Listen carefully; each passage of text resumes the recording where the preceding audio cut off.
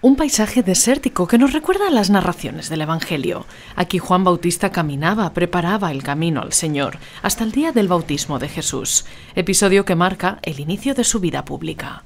Los franciscanos de Tierra Santa promueven cada año la peregrinación de fieles a orillas del Jordán, para la procesión, la Santa Misa y obviamente para tocar las aguas del río y rezar en el lugar en el que Jesús fue bautizado, tal y como narra el Evangelio. La región, rodeada de campos minados y bajo dominio israelí, ha estado durante largo tiempo cerrado al público. Pero a partir de 2012, la fiesta del bautismo del Señor tiene lugar aquí, el domingo siguiente a la Epifanía, según el calendario litúrgico.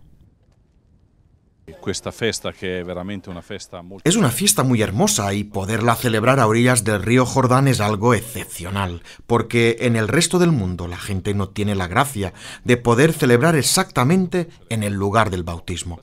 Celebrar esta fiesta es muy bello y marca el paso de la contemplación del niño Jesús a la contemplación del Jesús adulto, en el cual de mismo tiempo se manifiestan el Hijo de Dios y la invitación a seguirlo.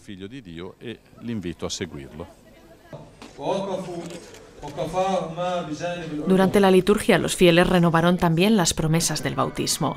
En Tierra Santa es tradición bautizar a los niños en esta celebración.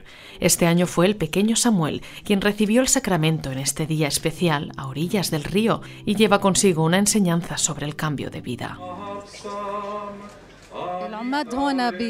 He bautizado a mi hijo aquí donde Cristo fue bautizado. También mis otras dos hijas recibieron aquí el sacramento del bautismo y este es el tercer hijo que bautizo aquí.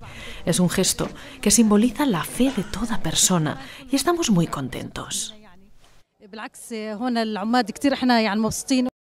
Tras ser bautizado, según el Evangelio, el Espíritu condujo a Jesús hasta el desierto, donde fue tentado. Siguiendo los pasos de Cristo, los fieles marcharon en procesión del río Jordán hasta Jericó, hacia el Monte de las Tentaciones, conocido también como Monte de la Cuarentena. La peregrinación concluyó en el monasterio ortodoxo lugar de la tentación de Cristo. En el edificio que se mimetiza con la piedra de las montañas se leyó el pasaje bíblico que narra el diálogo entre Jesús y Satanás, fragmento que nos interpela en nuestra vida cotidiana y que nos invita a vivir firmes en la voluntad de Dios.